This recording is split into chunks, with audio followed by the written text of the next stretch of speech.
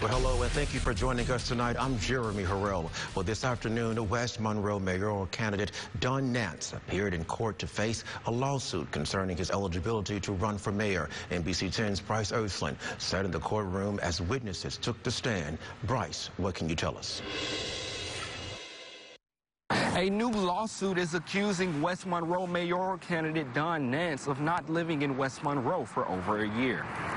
Nance recently appeared in court, but questions concerning his eligibility to run remain unanswered.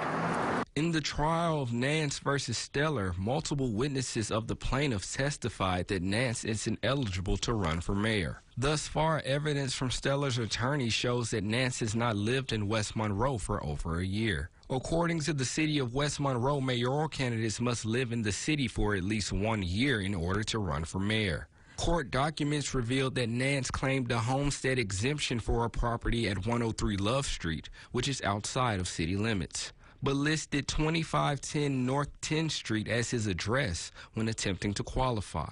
The courtroom deliberated for three hours before deciding to go to recess. Witnesses on behalf of the defendant are scheduled to testify when court resumes. The trial will continue on Sunday, February 6th. Reporting in West Monroe for your weather station, I'm Bryce Olson.